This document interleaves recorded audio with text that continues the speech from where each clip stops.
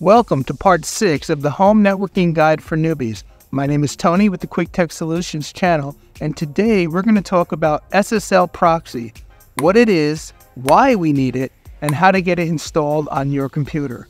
So what exactly is SSL Proxy? So Grandstream defines SSL Proxy as follows.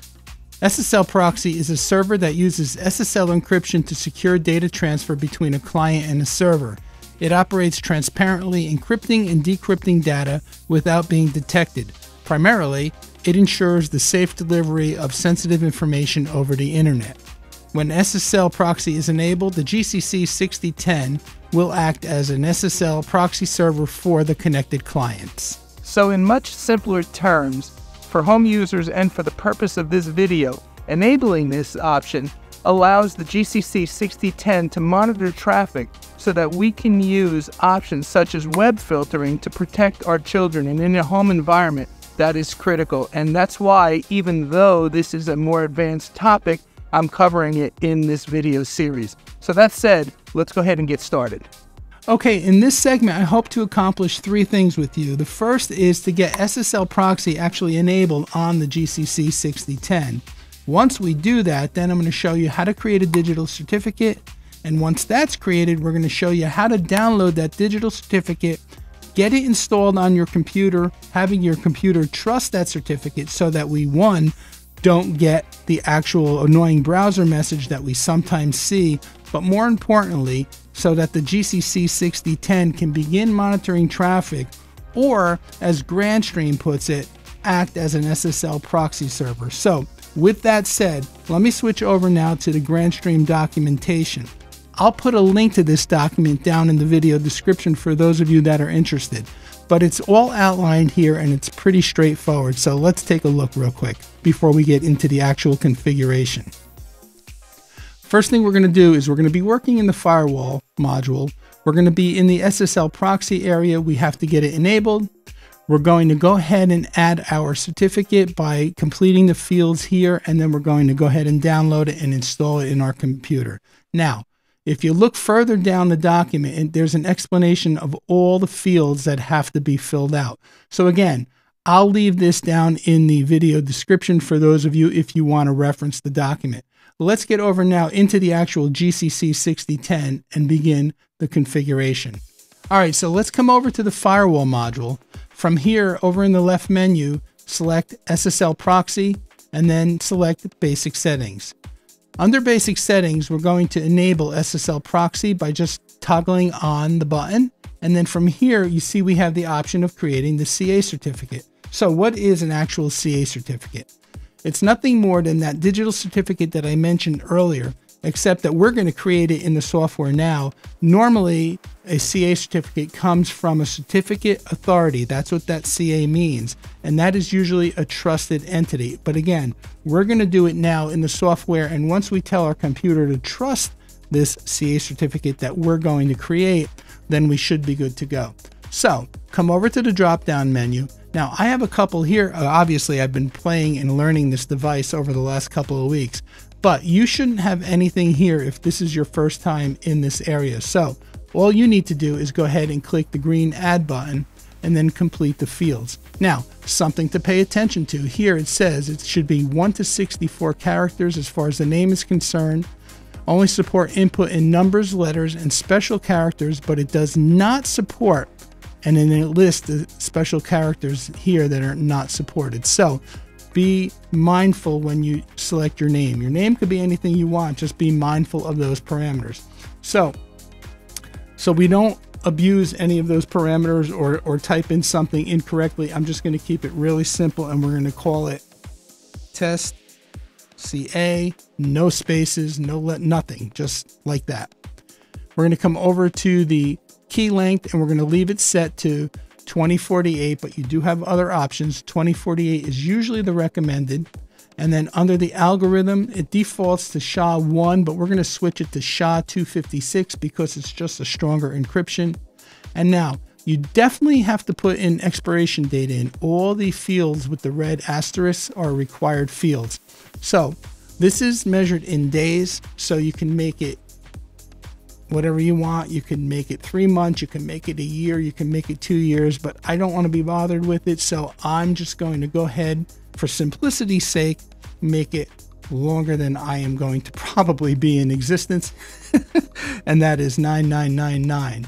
If you want to do the math to see how many days that converts to years, go right ahead. We don't have to worry about the sand, but we do have to select our country and then fill out the rest of the required fields. So for me, let me go ahead and do that.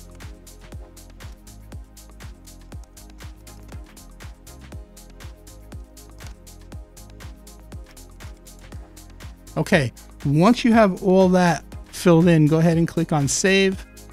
And then from the drop down menu, you can't leave it empty. You're going to click the certificate that you just created. We're going to hit save. And then you see the little download arrow here. Let's go ahead and download that certificate now to our computer. And the final step we discussed for this segment is to get that downloaded certificate installed on the computer and have your computer trust it. So let's move on to the next segment of the video. All right, congratulations if you made it this far into the video and into the series. I know this particular video you might find a little daunting, but I'm going to give you guys an applause for making it this far. Congratulations and kudos. Okay, now that that is said, what we have to do now is install that certificate on our computer and tell our computer to trust it. That is the next step in the process. Now, what I should have pointed out to you in the last segment in the video is when you've downloaded the CA certificate that you created, just you should have noted where it was downloading to on your computer. Most of the time it will go to a downloads folder, but you might be set up a little differently. So I should have mentioned it then, so I'm mentioning it now. All right, that said, let me switch over to the computer because you don't need to see me on the screen for this and I want to be able to zoom in for you. So what we're going to do now is go ahead and install the actual certificate on the Mac OS. Now, if you're running Windows PC, I'm not going to show you that one, but I am going to link out to a video that Willie Howe did on SSL inspection.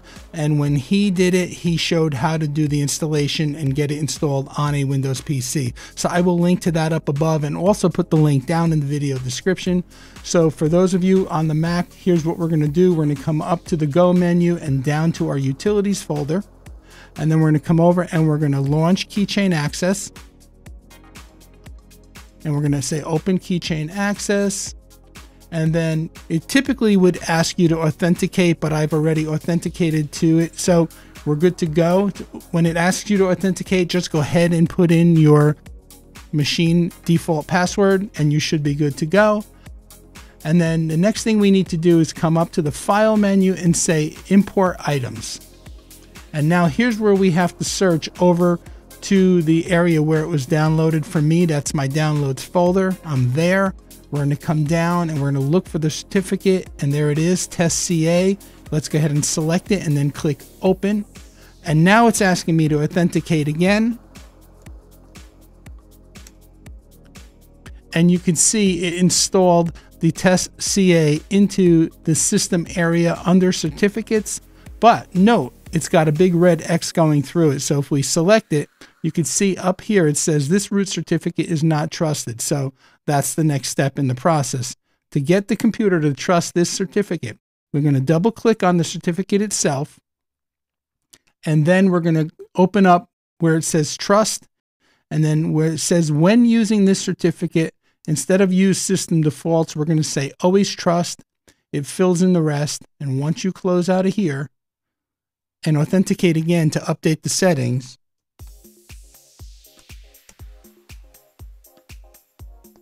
you should be good to go. And now you can see we no longer have the red X. And if we select it, now it says this certificate is marked as trusted for all users. I know this video might have been a little daunting, but you made it through. And again, this is an important step, even though it's a little bit more of an advanced topic. I did my best to try to keep it simple for you. Again, I know this is a home networking guide for newbies, so hopefully um, you're not too confused or not too lost at this point. But again, if you just follow the steps along in this video, you should be fine and get this successfully implemented. Okay, well, I hope you liked this video, and if you found any value in it, please go ahead and give it a thumbs up. Stay tuned for next week's video, which is part 7, and we're going to be talking about web content filtering. And as always, if you'd like to see more content like this, please click the video on the screen. Thank you so much for watching.